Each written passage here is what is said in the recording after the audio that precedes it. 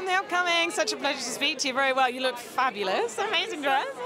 So just ever so briefly, because I know it's a very hard one to summarise, what can people expect from the Sandman, but in particular your character?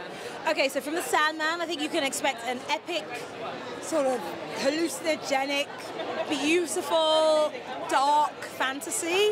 Uh, and for my character, I think you can expect uh, a very sort of subverted idea of death, different to anything you've ever seen in popular culture. And were you already familiar with the comics? And you know, how much? What was the appeal of adapting these? But maybe some of the challenges as well. Uh, I was familiar. I'm a big fan of the Sandman, and so I think that was actually kind of gave me a bit of a cheat sheet when it came into this character. Hi, Fitz! Oh, no, sorry. um, okay. Uh, the other question was. Um, uh, yeah. What was some? What was the appeal with the challenges?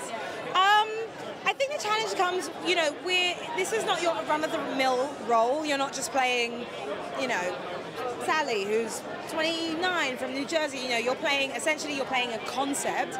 Um, so that is a challenge. How you sort of give humanistic life and humanistic qualities to something that is sort of a very nebulous concept.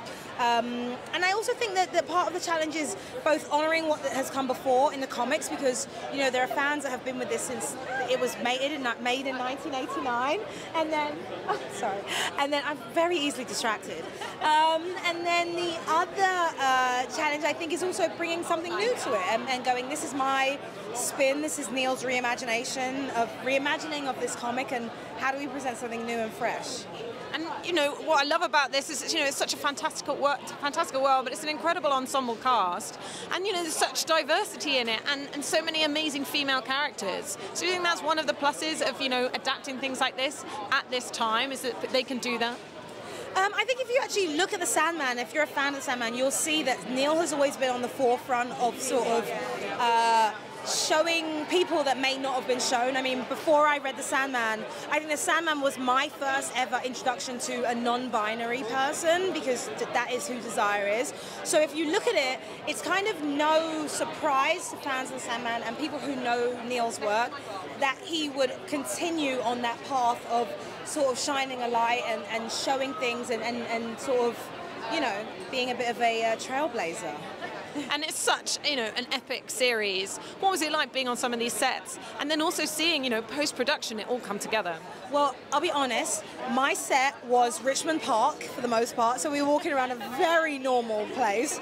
Um, but it was amazing. Actually, my, one of my favorite days on sets was I got to. We were on the set stage, and before they broke the set down, I got to visit Hell. What was the Hell set? And if, if and when you see that episode, you will see how epic it is. So that was probably the highlight of it. And what do you hope people take away? And has it changed your particular view on dreams? Uh, it has changed my idea of dreams. This role has changed my idea of death.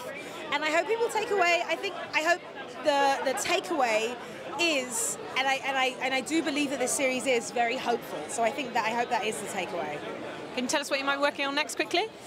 Uh, you know, I have a kids' book that comes out on November 15th. I wrote a children's book. I wrote two, actually. One's called Little Black Girl, Oh, the Things You Can Do, and the other is called Little Black Boy, Oh, the Things You Will Do.